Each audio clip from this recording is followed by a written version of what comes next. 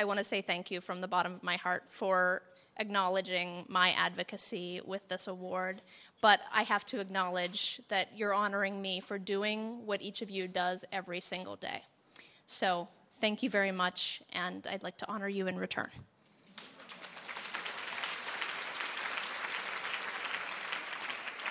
And I know that you do that work every single day because I've had the opportunity recently to become more intimately involved with the Los Angeles section of NCJW.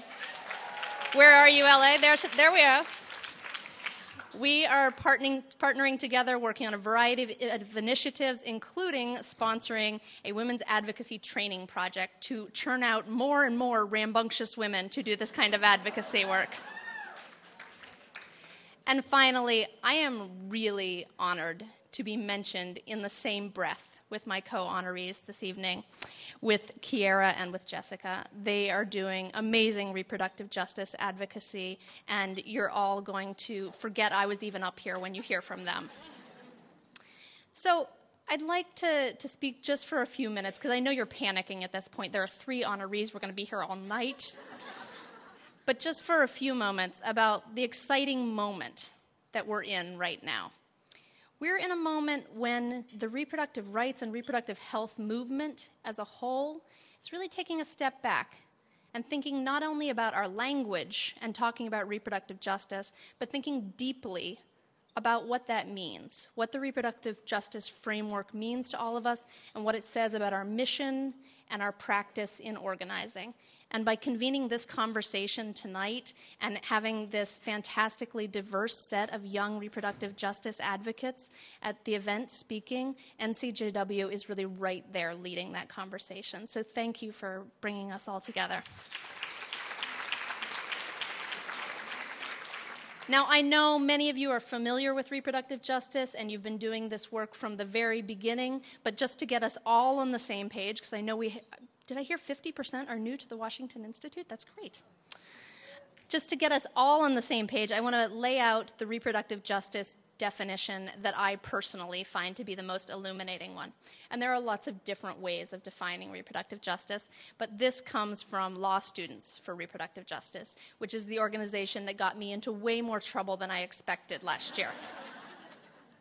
so the definition that we use is that reproductive justice will exist when all people can exercise the rights and access the resources they need to thrive and to decide whether, when, and how to have and to parent children with dignity, free from discrimination, coercion, or violence.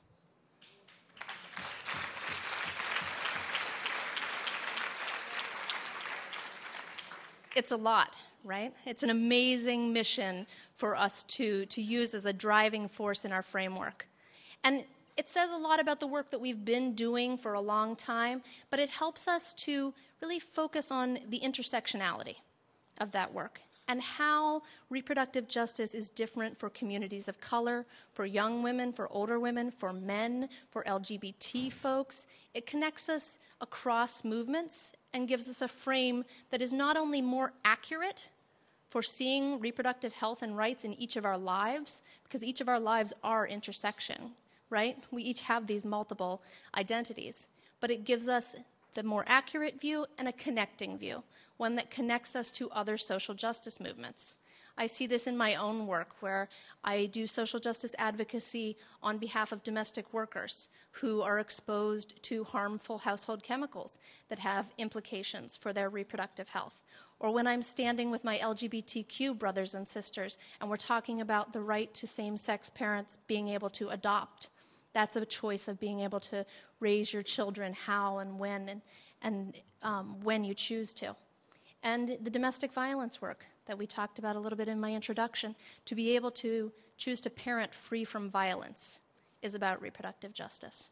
So, this is a framework that connects many social justice communities, and that's amazing. That's powerful. And that's ultimately how we make progress on our progressive agenda. Am I right? Okay.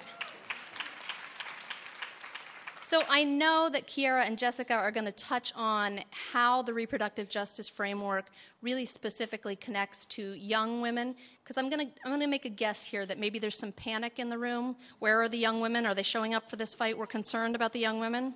Okay. She's going to touch on the panic and make us all feel a lot better. And I believe Jessica is going to talk about how this really resonates for communities of color, which is an important aspect of the reproductive justice framework. But I'm going to talk about a surprising community, and one that I think we don't remember we need to connect to, and that's conservatives. Now, I know you might be a little bit surprised that I'm the ambassador to the conservative movement. but I actually grew up in a very conservative community. I have a pretty conservative family. We don't actually agree about abortion rights, for example.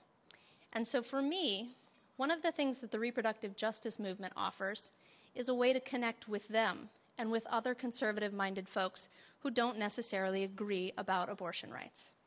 Now, that's because the reproductive justice framework includes fighting for access to contraception, fighting for affordable access to breast cancer screenings, to being able to adopt. It's not just about abortion. And that doesn't mean that we ever, ever stop defending Roe v. Wade or stop fighting to make sure that abortion is free, not free. Oh. accessible and affordable and safe and legal. We always have to defend Roe. But there are a lot of other bi- battles that we're fighting right now. If 2012 taught us anything, it's that this fight is many faceted, including on things as basic as birth control and preventative health.